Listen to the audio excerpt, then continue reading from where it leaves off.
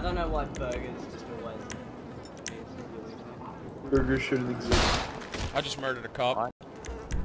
What'd you say, Nora? Matt. I literally just shot a cop and teleported away. What'd you say,